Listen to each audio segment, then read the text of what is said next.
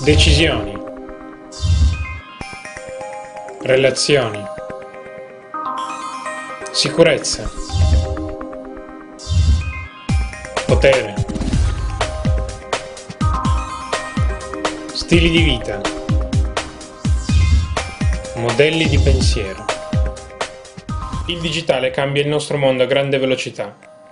Ma quali sono le problematiche tra società e digitale? Che mezzi offre il mondo digitale alla società? Che società dobbiamo immaginare nel nostro futuro? Ciao a tutti, sono Pietro Barbiero, studente del Politecnico di Torino e nel blog Società e Digitale cercherò di rispondere almeno in parte a queste domande.